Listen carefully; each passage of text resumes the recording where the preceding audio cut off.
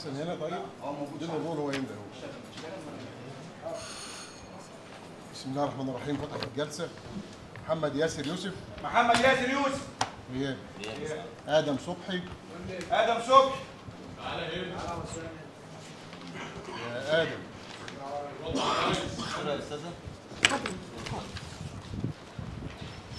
منتجبة مع الناس ماشي انت يا آدم سرقت بالإكراه يا آدم؟ شغال يا آدم. يا أستاذ. والحاضرة.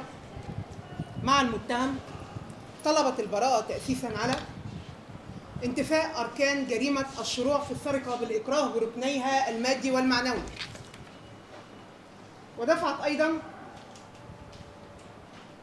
بعدم معقولية تصوير الواقعة على النحو المسطر بالأوراق بل واستحالة تصورها عقلا ومنطقا ودفعت بانتفاء دليل الإسناد في الأوراق وهو ما يقودني للدفع بعدم وجود ثمة شاهد للواقعة يثبت ضلوع المتهم في ارتكاب أي من الوقائع الماثلة أمام المحكمة الموقرة. ودفعت أيضا بتناقض الدليل القولي للمبني عليه في الوارد في الأوراق تناقضا يستعصي معه الموائمة والتوفيق مع الدليل الفني الوارد في الأوراق. وأخيرا بكيدية الاتهام وتلفيقه وانعدام التحريات وقصورها. معالي المستشار تعلمنا من قضائكم العادل وقضاء المحكمة الموقرة أن الأدلة الجنائية ضمائن متساندة يكمل بعضها البعض وأنه إذا كان هناك تعارض بين المنطق والدليل غلب المنطق على الدليل. المجني عليه معالي المستشار تقدم ببلاغ قال فيه إن المتهم الماثل أمام المحكمة الموقرة وكان البلاغ بدايته إن الأهالي بلغوا ضابط الواقعة إن هم مسكوا واحد في الشارع بيحاول إنه يس- يسرق توك توك من قائد التوك توك بالمعنى الأصح.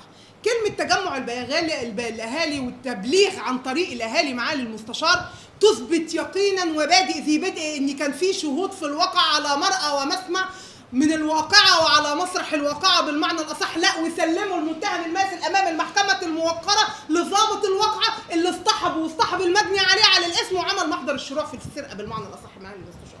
نفاجأ معالي المستشار وبادئ ذي بدء أن سلطان الدعوة أمام المحكمة الموقرة والشاهد الوحيد واللي خد الدعوة يمين وشمال بالمعنى الأصح والواقع يمين وشمال وتناقضت أقواله وتواترت رواياته ما بين محضر الشرطة وتحقيقات النيابة العامة هو المجني عليه. المجني عليه معالي المستشار في البلاغ أما خدوا الضابط وخد المتهم الماثل أمام المحكمة الموقرة على استحياء. قال إيه بقى معالي المستشار؟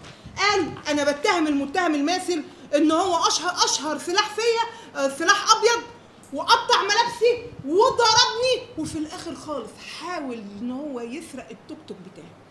طب إيه؟ سندك وإيه دليل اتهامك؟ قال إيه؟ هو البلاغ الأولي والبلاغ بتاع الأهالي وبلاغ ضابط الواقعة إنه كان معاه شفرة موس. وفاجئ معانا المستشار بعد ما قال في محضر الشرطة إن كان معاه شفرة موس قال لا ده كان قطر ومعورني بيه وقال ده جرح سطحي الدليل الفني الوارد في الوارد في الأوراق معالي المستشار واللي إحنا لازم نناقشه أمام المحكمة الموقرة لأنه دليل يقيني إن ثبت يثبت لمصلحة المتهم وليس ضده التقرير كله ما هو إلا مجموعة من الكدمات في يد ورسخ المجني عليه وخط بسيط أو جرح مش يا ريته جرح مع المستشار. ده ال- الطبيب ذاكر إن هو مجرد خدش. هل ال cutter معالي المستشار وجرح ال cutter بيحدث خدش ولا ممكن إن هو يحدث إصابة غائرة؟ لو كان الغرض منها إن هو يتخلص من المجني عليه أو يزيحه عن طريقه بغرض سرقة التوك توك رواية المجني عليه اللي ذكرها قالها هو خدني الساعة 12 الظهر ورا فندق كاتاراكت وقال لي تعالى عشان أنا عايز أجيب مناديل ده واحد راكب عادي.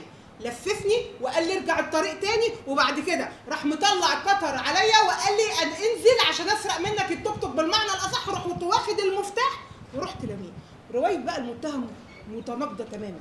المتهم قال إيه بقى معالي المستشار قال أنا كنت بجيب بضاعة ومعايا دفتر يخصني ومعايا مجموعة من البضاعة بتاعتي وركبت التوك توك ده وسواق التوك توك ده. كان معاه واحد قاعد جنبه وخدوني ولسه بيحاول يسرق مني الدفتر اللي كان في إيدي ومقتنياتي ومستلزماتي شديت معاه.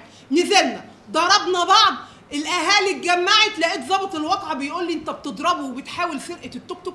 لو إحنا اتعاملنا مع العقل والمنطق اللي المحكمه الموقرة دايما علمتنا فيه إنه إذا كان هناك تعارض بين المنطق واليقين غلب المنطق على اليقين لا يمكن بأي حال من الأحوال دي وقعت سرقه على الدليل اليقيني للمحكمة الموقرة إن إحنا ممكن ناخدها بعين الاعتبار مع المستشار.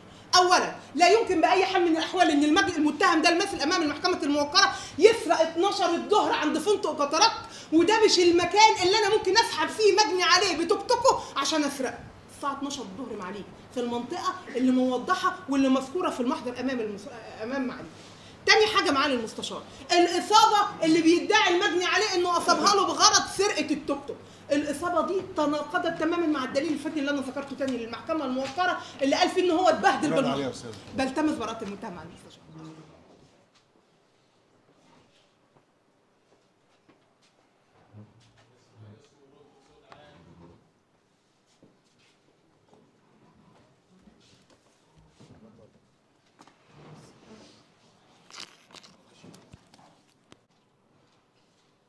آدم صبحي عزيز حكمت المحكمة حضوريا بمعاقبة آدم صبحي عزيز سالم بالسجن المشدد لمدة ست سنين.